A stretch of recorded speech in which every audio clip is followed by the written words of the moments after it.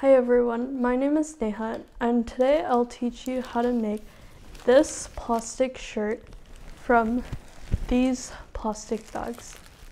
So first what I did was make the template and I just stuck a bunch of pieces of construction paper and used my uh, existing shirt to trace it and um, I labeled the arms and the torso and now I'm preparing the plastic. I'm just flattening it out by cutting along the seams and then I'm tracing my template onto the plastic so that I can cut it out. And you want to duplicate it so you should have two pieces for the torso and one uh, two pieces for each arm.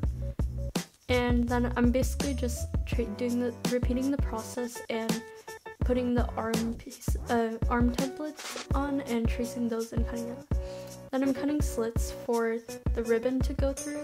You want to make sure that your slits are right uh, lined up on both pieces of plastic and then you just thread the um, ribbon through and tie it and it's better to double knot it so it doesn't come out. And then when I did it I just inverted it and now I'm just attaching the sleeves the same way but you need to make an extra slit so that you can uh, get this ribbon through. And that's it. Thank you for watching